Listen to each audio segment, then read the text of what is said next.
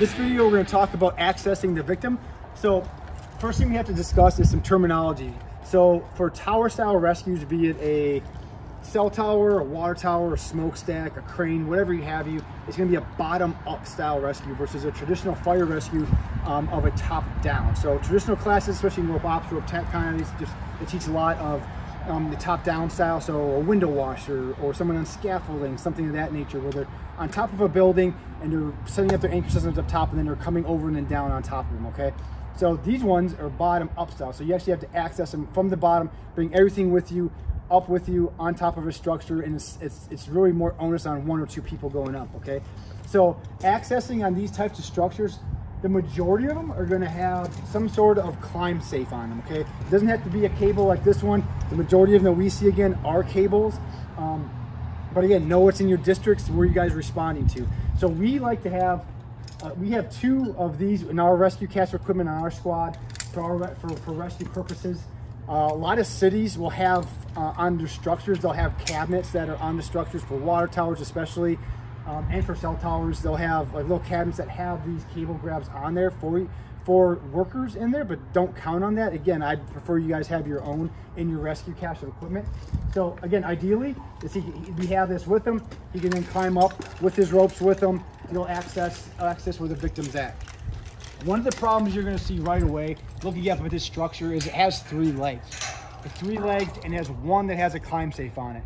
So if you have a victim that's up there working on any of those antennas on the other two legs, how are you gonna access that victim is the issue, right? So on this structure, and a lot of cell, cell towers like this is self-support ones, they'll have a horizontal climb somewhere on it. This one has one has one up there around 100 feet. But even even that said, you still have to have something to maintain your points of contact going across horizontally and then trying to access the victim wherever they're at on those other two legs. So you can't count on just having that cable climb as you go up. All right, so now we're on one of the other two legs of the structure. It does not have the uh, cable safety on it to climb up on it. So we're gonna go over very briefly just an awareness level of climbing with lanyards and work positioning. Uh, during class, we go over this much more in depth. We also have an OSHA class that we run for fall protection. Um, and we can also give you recommendations on gear to use for this specifically, okay? But again, it's a quick overview. So climbing up there, one of the things you're gonna need is when you're climbing, is your hands and your feet are one point of connection. So we're always trying to maintain two points of connection throughout, okay? So hands and feet are one point of connection. We have to have something else while we're climbing. So um, what Dale has here is lanyards, six foot lanyards attached to his dorsal D-ring as he's climbing. Um, we would recommend is having six foot lanyards with a fall factor two shock pack and then and uh, ANSI rated gate band. Again, contact us for more information on that. So as he's climbing up, he's taking each one and he's piggybacking them up. He's trying to maintain his point of connection to um, where he's at on his dorsal D ring above him or at that point of connection as he climbs up, okay? As he climbs up, he's gonna, eventually he's gonna find a spot where he wants to do work. So when he wants to do work, he's going to take his hands off. In order to take his hands off, he has to put on something else, another point of connection. So he's putting on his work positioner. He has a work positioner that's going onto his stern, going onto his central D ring, back to himself.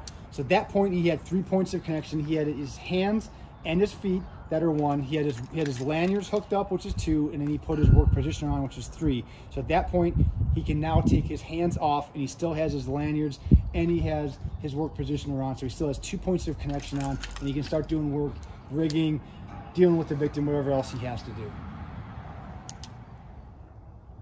All right, another technique for rescuers to access the victim is if our first rescuer going up, if he just ends, end carries the rope up with him um, and then anchors off up top. What that does is it provides a static line for the guys on the ground. If they have a device like an ASAP, we can toss our ASAP on and then we can just climb up after him instead of having to use lanyards to climb up.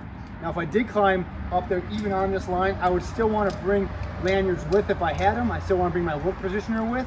I might have to traverse past the victim or the rescuer. I might have to traverse horizontally to get somewhere as well. So I still want to bring these with and my work positioner with. But what this does is this allows me to get up faster, more efficiently, and save a little energy as I go up to, to help out the, my other rescuers already up top.